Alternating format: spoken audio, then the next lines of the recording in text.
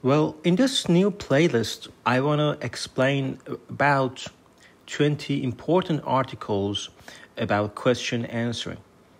And I started from very elementary ideas, very basic ideas, very uh, ideas based on knowledge graphs, because sometimes you have knowledge graphs, and sometimes you don't have knowledge graphs, you have just a bunch of text and uh, so at the end of my lectures, I will talk about open domain question answering as well.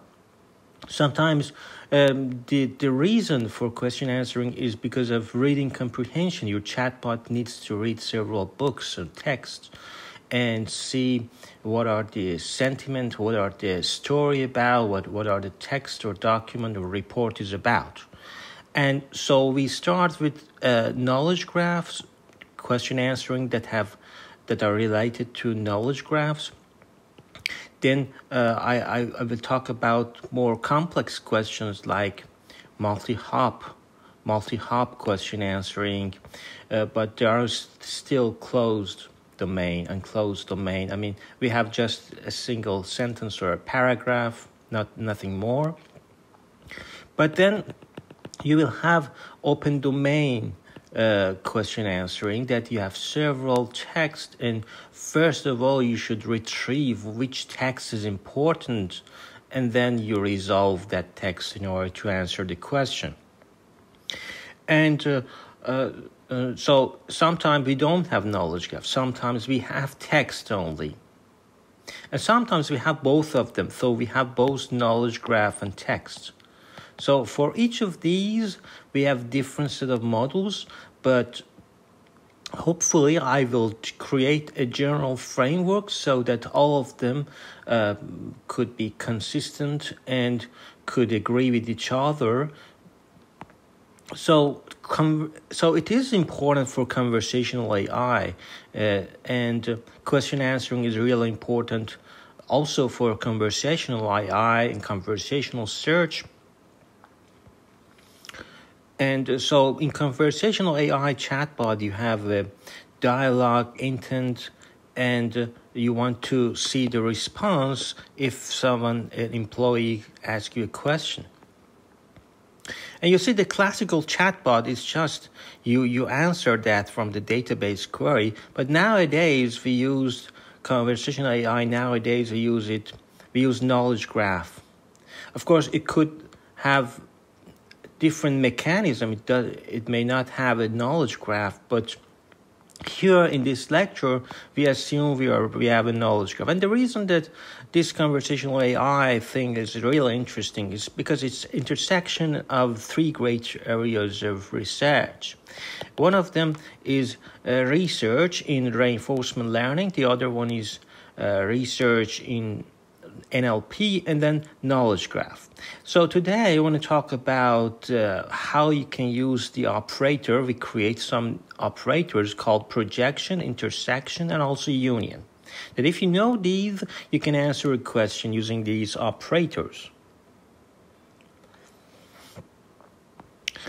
And so a great company is Rasa.com for banks a great data set for if you want to work on knowledge graphs. You start, you should start from Freebase and start uh, from very elementary, uh, very small data set like 15k, and it has, as you see, uh, Freebase 15k is one of the data set has 14,000 real entities, and and 1000 around 1000 relations which is good. So it has header relation and a target. So from header you go to the target with some relation. For example uh,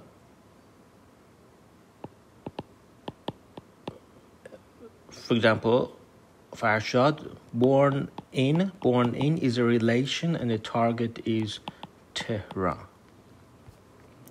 So a quick recap from TransE is that uh, you have this, you want to minimize this. This is margin-based ranking criterion over training sets.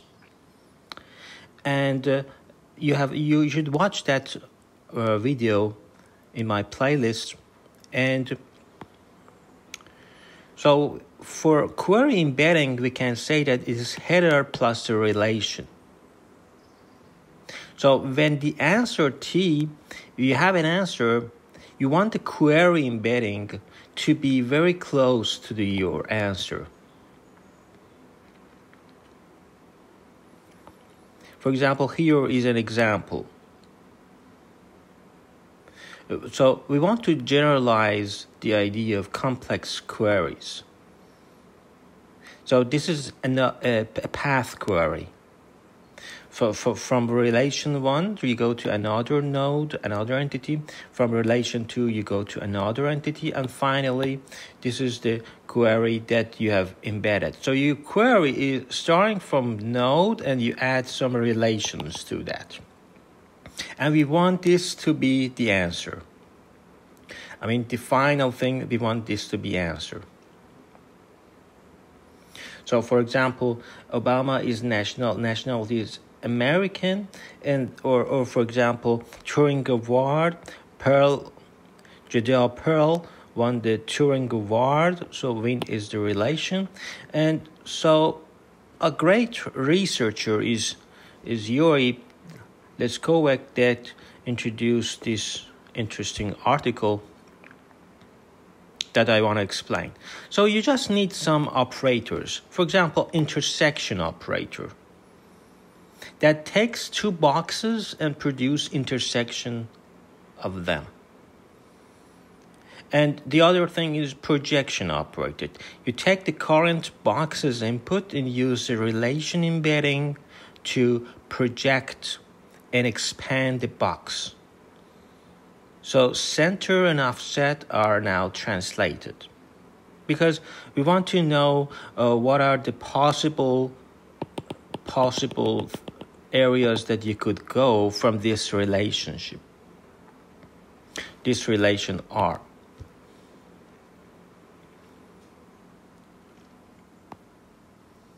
So the queries could be one hop queries, for example, where did Hinton graduate, or it could be path queries, where did Turing Award winners graduate. So it's like this. And conjunctive, it could be conjunctive. For example, it could be like this a conjunctive that you have uh, Turing Award Pearl, and then, for example, like this, that you need an intersection. For example, where did Canadian with Turing Award graduate? So you need the intersection operator because first you should project Turing Award and you know what are the nodes and and then you, you calculate the intersection of that like this that this is intersection of Turing Award one so uh, so we should know how much attention should be given to Hinton how much attention should be given to Bengio and it depends on the distribution. And we want to design a neural intersection operator because we have input queries and we can learn this. And what is the drug that causes short of breath and treats disease associated with protein ESR2? This is an example of projection operator.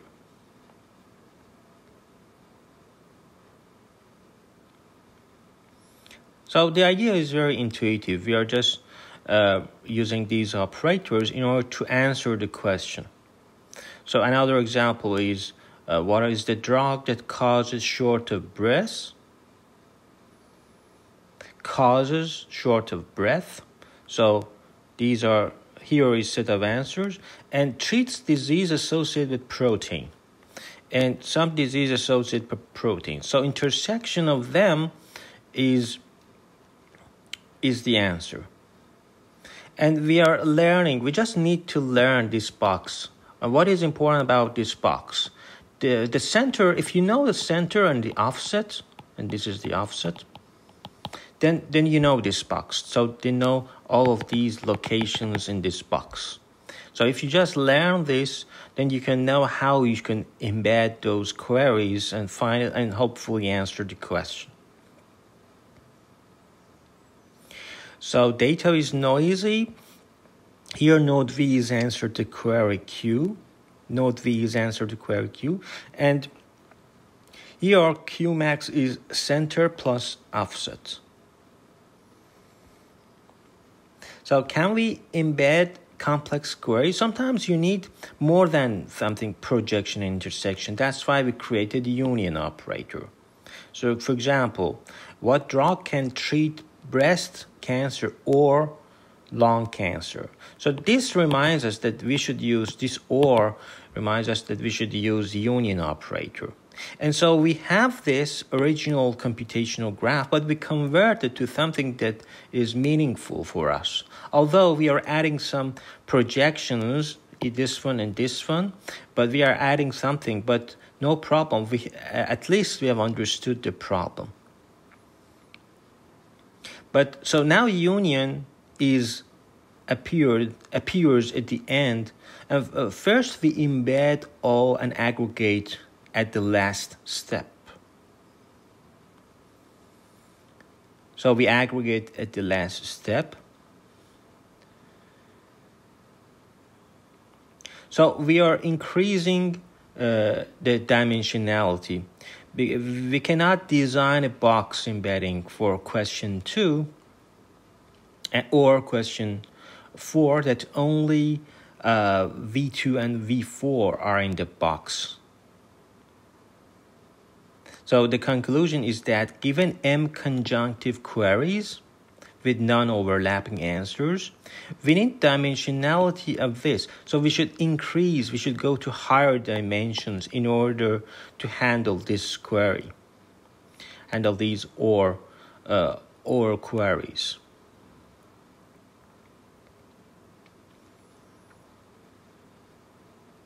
And this slide is from uh, that professor in Stanford that we first transform to equivalent form and then we embed it to QM and Q2, Q3 till QM. We embed all of them. And then we calculate the box distance QI and V and we take the minimum of all distances and finally, the score. So we want non-answers to be out of the box and answers to be inside the box. Here K is the negative entities. This is the trick, this loss is a trick that we use in machine learning quite a lot. But the problem is these parameters that we should know and so it's parametric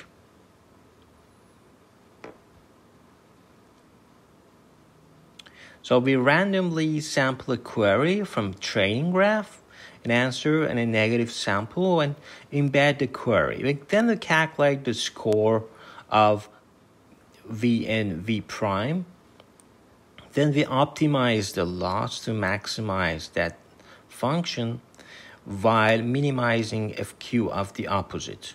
So this is the uh, this is the non-answer. We want to minimize it, and but this is the answer. So we we want to uh, encourage it. We want to maximize it for the answer.